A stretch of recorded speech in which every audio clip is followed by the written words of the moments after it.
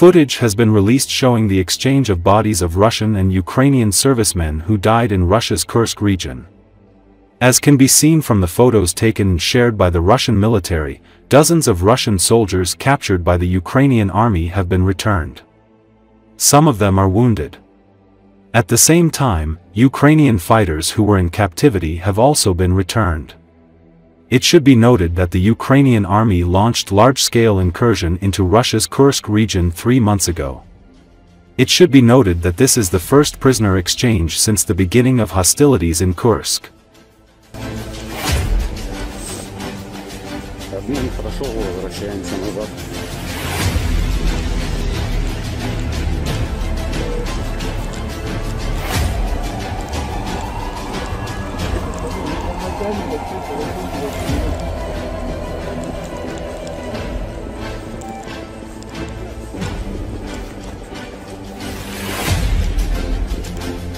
Драться немножко, чуть-чуть надо крутануться, уйти.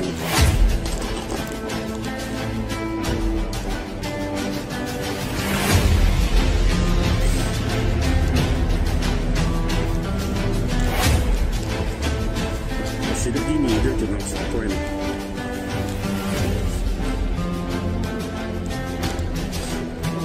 У тебя что, ноги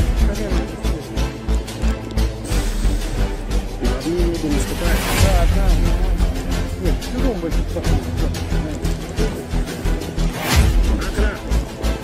Надо четверку.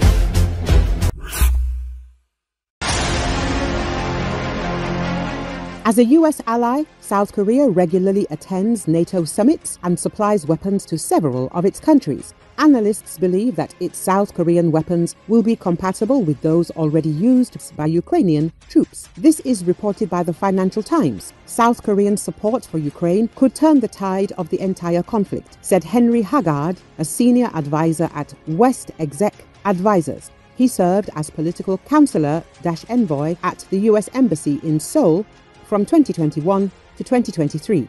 Not only do Korean firms produce world class weapons specifically designed to help Ukraine, they also have the manufacturing capacity to deliver the necessary weapons at a pace that could be decisive. He added, South Korea provides indirect support to Ukraine, replenishing stocks of American 155mm artillery shells.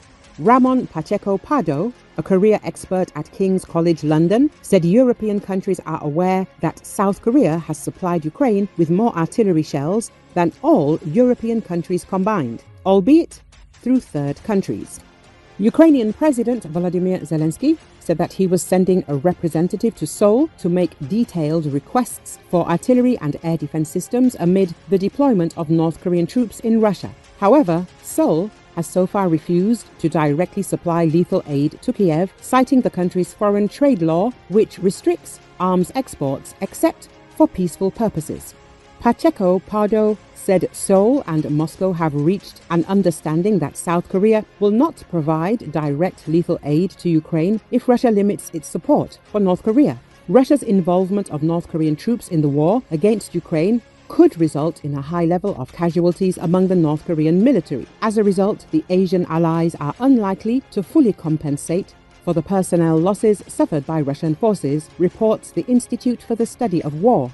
The report notes that a meeting took place in Moscow between Russian Foreign Minister Sergei Lavrov and North Korean Foreign Minister Cho Sun-hui. The ISW report also noted that Cho's visit to Moscow comes amid reports of the deployment of 8,000 North Korean troops in the Kursk region who are expected to soon engage in combat alongside Russian forces against the Ukrainian armed forces. At the same time, ISW analysts believe that despite Pyongyang's commitment to support Russia, North Korean forces are unlikely to provide a long term solution to Russia's manpower issues. According to Austin, Russian forces are suffering over 1,200 casualties per day, approximately 36,000 casualties per month, Recent US estimates indicate that Russia is drafting between 25,000 and 30,000 new soldiers each month, meaning it cannot replace current frontline losses at a 1 to 1 ratio. Thus, the 8,000 North Korean soldiers represent roughly a week's worth of losses across the entire front. North Korea has committed an estimated total of 12,000 troops to Russia. It remains unclear exactly how Russia intends to leverage North Korean manpower but the commitment of North Korean troops into the type of highly attritional offensive operations that Russia has been pursuing is very likely to lead to high North Korean casualty rates, the report states.